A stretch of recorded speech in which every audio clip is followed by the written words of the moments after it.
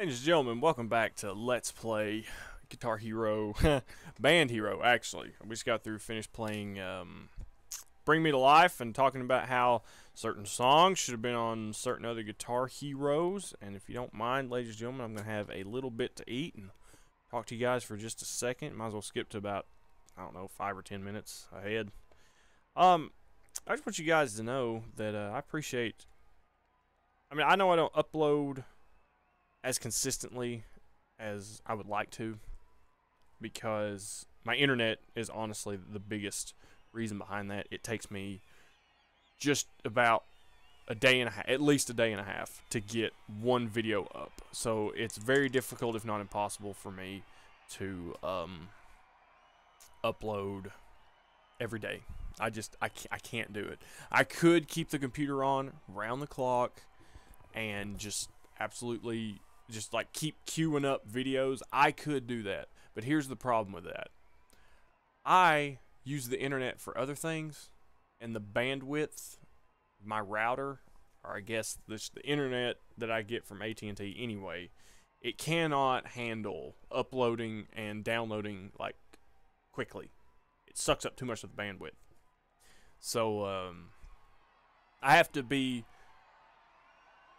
Mindful of when to upload. And besides, I share the house with two other people. They use the internet too. So I can upload at night, but it usually takes about two nights, or maybe if I start early enough, it takes me one night. Like, let's say I start uploading right now at 8 o'clock. I've been recording for eight damn hours. Yeah. Let's say I start right now um, and go all night. It would take me until about noon the next day to get that video up. And that's basically a day and a half. So I have to be very cautious and mindful about things like that. Uh, but besides that, uh, I have recorded about six games already at this point. I, uh, the time of recording, um, Band Hero. Oh man, that's a good shrimp. Um, time of recording episode two of Band Hero. I've only uploaded the first episode of Two Towers. and I've already I've done five more games since the Two Towers. So the repertoire is growing, which makes me happy. You know, take a maybe I'll take a week sometime next week or so and focus on the music channel again. There's a couple of covers I've been wanting to do. You know, I like some of the songs that we're practicing in the band. I like to uh, I like to play and record. I like to record my role in the band and see how people react. And so far, it's been pretty good. People seem to like what I got going on, which I really appreciate. I've been very to tell you a a, a bit about me, a little bit behind the curtain. Um, I've always been nervous of my voice singing. I hated it. I like I hear recording of myself and like my accent comes through and it's like nails on a chalkboard and I don't I just don't have like the guts of like get the rasp in some songs. But uh, my friend Anna, she said that I have a great voice. She likes it. I mean, she's kind of biased, or she was biased when she told me. And then, uh, and like that was fine. Like it's not like I thought she was lying or I didn't believe her. That wasn't the whole thing. It's just she had a biased reason for saying so. Because we were dating at the time. But now that I'm in a band, and I have been put in a position let me let me just kind of break it down the the mindset here. I've been put in a position where I have to sing. There is nobody else that can play and sing at the same time. We are a three piece. You know, you know what I mean? And somebody has to double up on something. So, it's me. It's me. I'm the only one that can do it. Okay, I'll do it.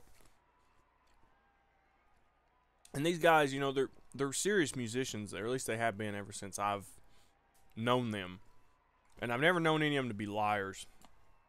But not only that, um, I don't think they would want to put their talents with my talents if it wasn't equal, if not more. You know what I mean? They wouldn't. They would say no. You stick to the guitar. You you stick to this, that or the other. Um, but they haven't. And I've asked them several times on several occasions, like, "Hey, are you sure like my voice is holding up to this song?" Like, "Yeah, yeah, man, no, no problem. You're you- you're you're there." So I'm overcoming the vocal side of things. Um, yeah, I'm on me 29 this year. Finally, finally overcoming that stuff, and it just reinforces it when I make a, a cover, and people appreciate it. So thank you guys. I appreciate you um, helping me spur myself forward musically. Be a more valuable asset to a group because I mean a guitar player that can sing, or at least hold a tune. Yeah, I, I'm not gonna say I can sing. I'm gonna say I can hold a tune. I can match pitch, and perform a song at the same time. That would be the best way to put it. Not a singer. I no, absolutely not. Um, but some people like it. Um, and I'm thankful that the people do. I appreciate the support. It really, it really helps at this juncture. But another thing is, uh, I was just thinking about this, like right when I ended the last recording. I thought, you know, what I'm doing now should have been my life for the last nine years. Working where I work and being on pins and needles and like walking on eggshells, like not being able to make plans, not being able to do this because you never know when somebody's going to call you and ask you to come in. I know you can always say no, but when they've got you by the uh, by the emotions, when they when they got their hooks in you, like if you care about the people there and you don't want them to do that by on by themselves and on their own, you want to help them out. They they kind of got you. You know what I mean? So, but I was thinking that this is what it should have been the whole time. It should have been me working the weekends, playing music, and I mean like practicing music for rehearsal and gigs and stuff. Monday, Wednesday, Friday, and then just making videos all day, Tuesday and Thursday. I have not been this happy in my life. I've not been this like content and uh, just thankful to be alive. I mean, I get sad sometimes. Everybody gets down and depressed, but I was, pretty sad yesterday. But since I went to weekends, and it's probably been about a month, two months, something like that, I have only been depressed maybe three times, three, and it only lasted one day. Just kind of down in the dumps, thinking about everything. But then the next day, I, I was fine. And of course, I've been like sprinklings of sad and like you know bad news and stuff, you know whatnot. But not depressed, not like absolutely demolished emotionally and mentally. I haven't felt that way in two in two months, basically. So it go it stands to reason that your job is what's dragging you down, most likely. And I would uh, recommend you make a change in your life if anybody's experiencing things like that and being uh, sad. Find something else. Do something else. Change your schedule. That's what it was for me. Now, me, I didn't have a choice because I had hurt myself. I told you guys about that when I came back in Manhunt, and that was an ordeal. Still is an ordeal, but it's getting better, um, which I'm very thankful of. Um, there was a time there where I didn't think I was going to be able to walk again, and that was that was scary. But uh, no, I mean it just since I shed my skin of that depressing place and just straight up with them, told them, "Hey, I'll help you out on the weekends, but that's it," and they accepted. They were actually grateful I was doing that because, um, everybody's leaving, man. like most of the workforce that's there now dude, like they have changed hands. The turnover rate within the last two years at that store has been unreal, and it's about to get worse. But, but anyway, all that's over with. All that's said and done. That's some really good shrimp. The uh, cold shrimp that they have at Kroger's is amazing. Um, so yeah, uh. Yeah, I've- been feeling a lot better. I haven't been making near as much money. Yeah, I'm, I'm a little bit poor because of it because I haven't been working. But that's not like when I weigh the money that I would have against the amount of depression. It's it's no contest. Like I would rather make half my paycheck or half of the money I was making and uh, be 10 to 20 times happier and doing what I want to do. Like I can plan things out. I, I, I go to sleep when I want to. I don't have to like adhere to going to sleep at five and six o'clock. I still like to go to sleep at six o'clock, so so I can just sleep for an extended period of time. But you know, I wake up about nine or ten in the morning, make some coffee, have some breakfast, watch some videos, and then get to work. It's fantastic. It's almost like life is worth living when you don't have an unbearable weight of uncertainty and desperation bearing down on top of you.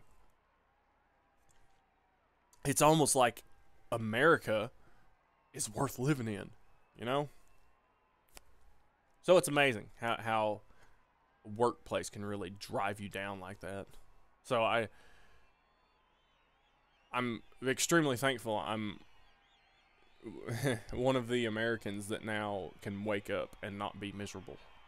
You know? Wake up and appreciate doing like going to work. I mean, I know I'm not making money playing music, I'm not making money making videos, but I can get up and do the thing I love. That is is worth it. That is definitely worth the money I'm missing out on, and I'm I'm not going to take that back for nothing. So anyway, sorry to waste uh, 11 minutes of your time, ladies and gentlemen, but uh, I was pretty hungry. Uh, the diet's going really well. Uh, I need to lose about three more pounds, and I'm hoping I'll get there by Monday, maybe Tuesday if I really like knuckle down and try to make it happen, well, just try to focus on not eating uh, anything too. Uh...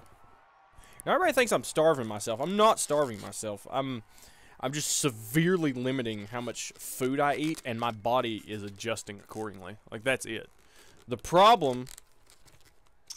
I'm not the kind of person that likes to really brag about this stuff because I know a lot of people struggle with weight and it's it's so hard to it's not fair to just say, "Oh, do this and you'll be fine." My problem is my parents they either cook or eat out every night and they always want to get me something. And I'm grateful for that and it's a blessing. I think I've talked about that. I do appreciate that. Don't think I don't appreciate that because some people go hungry and it's terrible and it's a travesty. And that's part of the reason why I do the thing I do. So here's the problem I don't like to waste food. It's a sin. It's also a sin to be a glutton, but wasting food is not the camp I want to live in. So, before, what I did was if there was food out that was going to get thrown out, I'd eat it. The problem with that is when you're 29 years old, your metabolism's not what it was when you're 13, and your body adjusts to a constant intake of food you gain weight, especially if you're not working out. So my whole issue is find the will, just change the eating habits and find the willpower to just let food go. You know, only eat what you need to, and try to convince the the other people that that's the the situation, and that. That's exactly how it was back in 2014 when I lost a ton of weight. I went from I moved out, lived with my best friend for a few months, so I had to pay my rent and my grocery bill and things like that. And honestly, dude, when it came down to it, like paying my grocery bill, I was like, dude, I don't need this much food. I'd eat like one time a day, and I wasn't hungry. I was never. I ate when I was hungry, and I always had food, but I ate so little. It's like I didn't need any, and the weight just fell off just evaporated. And I had did that again for the last two months or so, a month and a half or so. So I'm almost done. Almost done. Pretty excited. I'm gonna celebrate. Mom's gonna make some coconut shrimp curry, and I'm just gonna eat all of it. All of it. Where are we at? Let's dance. David Bowie. Dude, let's go to bass, man. What we got? Obviously, get the crowd jumping by hitting as many bass notes as you can. All right. Well, let's do it big boy. I'd like to thank everybody in my Discord. Nika, Moxie, Revenant, Monkey, Josh, JD. Appreciate everybody leaving their comments and all the camaraderie. Appreciate if we keep the drama and name calling to a minimum, but I appreciate everybody in there.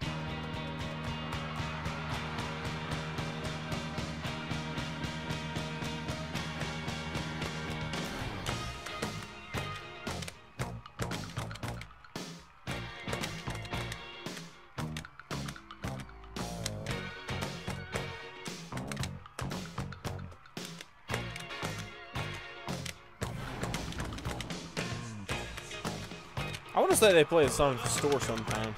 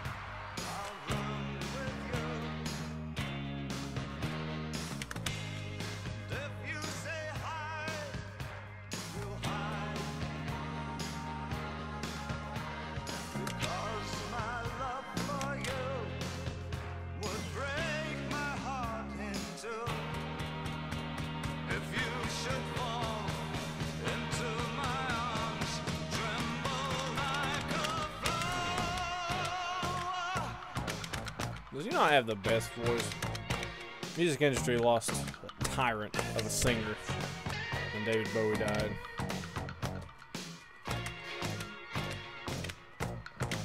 I think I might customize Casey at the end of this. I might as well just go through this whole game, right? Tonight, I don't work tomorrow. The only thing I gotta do tomorrow is uh, switching up rehearsal days. Friday and Saturday, which would be great if we do that every Friday and Saturday. We got our first gig coming up in the next month, and as it stands, we only rehearse one time a week. So the more rehearsals we get, the better. I'm not knocking anybody. I'm just saying we need to play together more. It is important and imperative. I'm sorry. I'm trying to scratch my nose, David.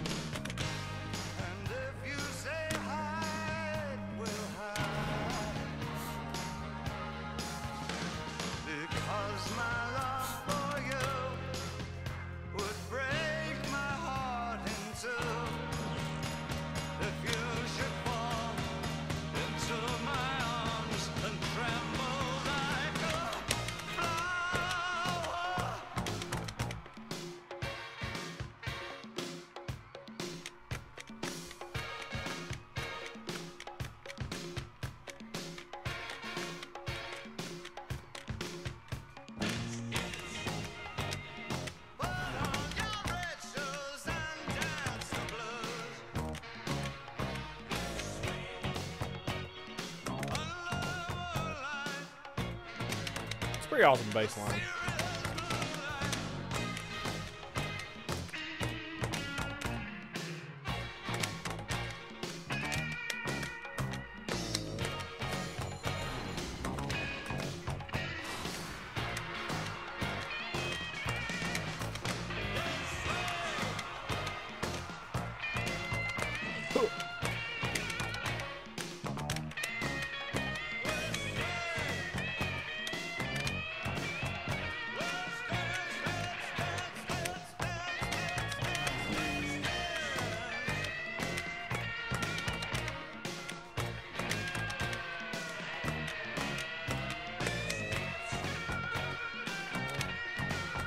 know what song I miss?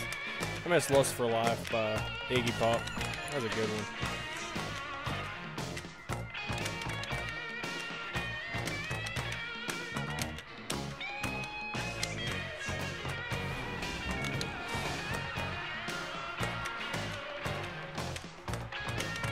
Sexy little bass line.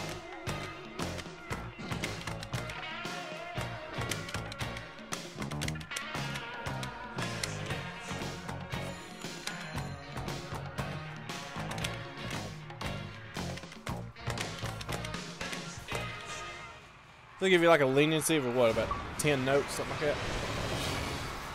Kicking ass on these secret note things, man. God, dude, I, I want to. I need to practice. Okay, if anyone has ever played this song live, I'm sorry if I seem like a terrible musician by saying this, but I'm I'm sorry. I have to do two roles in a band here. I have a terrible time. I'm learning it right now. I'm not exactly mastered it just yet, but the song absolutely by Nine Days. It is a little bit difficult to sing and play at the same time. Not that it because it's like not because it's vocally all over the place. That's not it. It's because the rhythm the dude, I don't know the lead singer's name, whoever wrote the song, the lyrics are just constantly like a barrage. Like every one and two and three and four and one and two and three. Like it's just like the lyrics are bam, bam, bam, bam, and the guitar's doing like this swing, kind of funky, kind of rhythm thing, or at least the way I play. It's the only way I can keep rhythm with myself. Is like kind of play some open chords and you know whatever. That's a tough song. I'm having a hard time with it, learning it, but I've come a long way. I finally got Lifeline worked out. We did some American Hi-Fi songs. We did uh, the breakup song and Flavor of the Week, and uh, wait, Shadow Secret Character. What's that?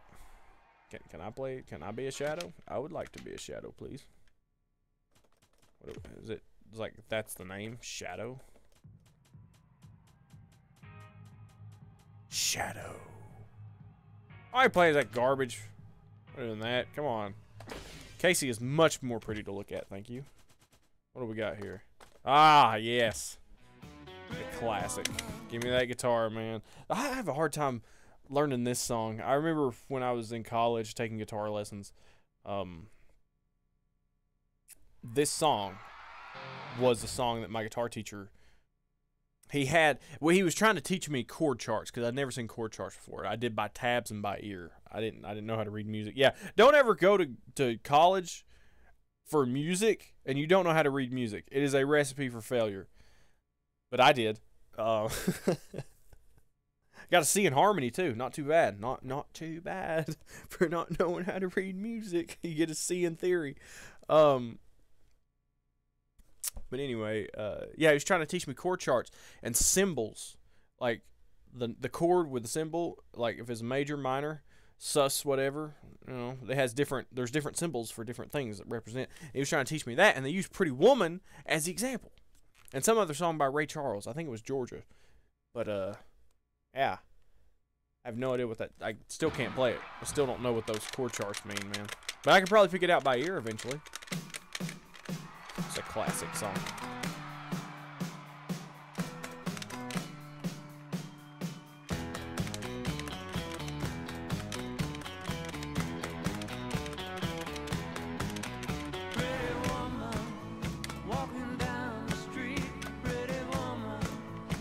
Think about that scene from Dumb and Dumber where they're trying on the suits. I think that's when that song plays.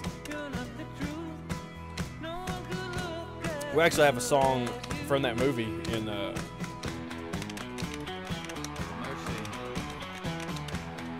in our set list.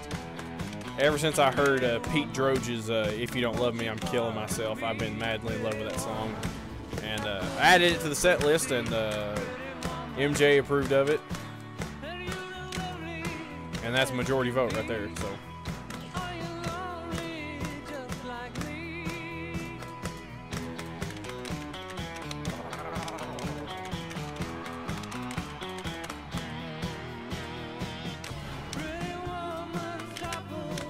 I, I didn't get the. I didn't get the hammer on thing. I just went like straight to a chord.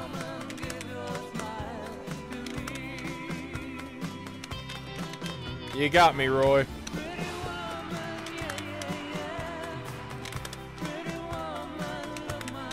Like instead of doing like one, two, three, like that, I just went straight to like a chord that was like green, red, and blue. They didn't catch the hammer on it, caught the chord.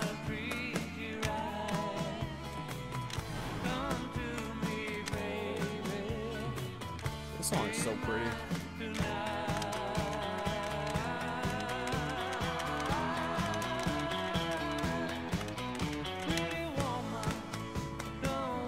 Talking to Christian the other day, and I said, uh,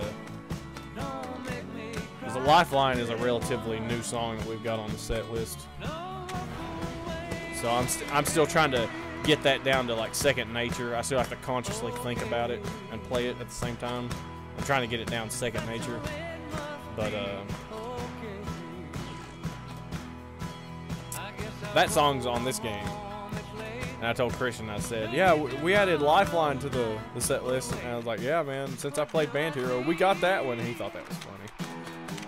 We're adding all these songs that are on Guitar Hero and whatnot. We actually don't have that many songs from from Guitar Hero.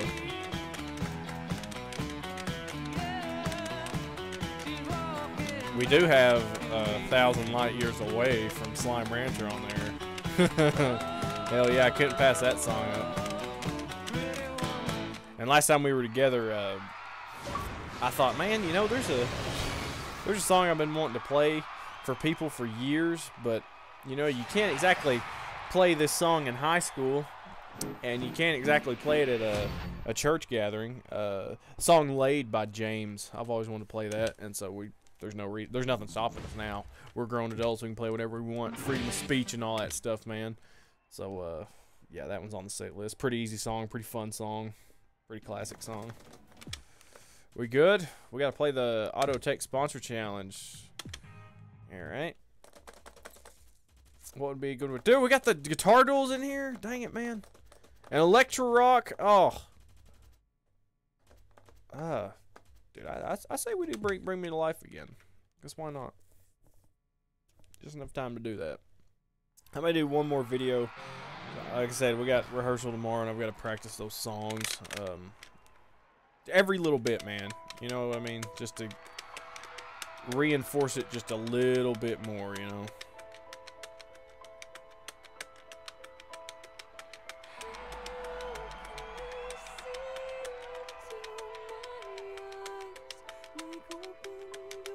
Gotta master absolutely somehow.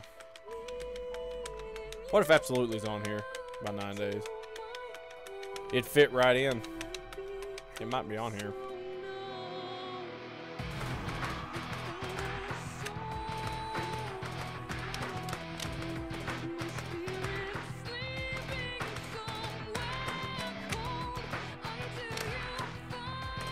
almost screwed up. I looked at I looked at the computer and it's like two seconds behind, and I was seeing green and blue notes.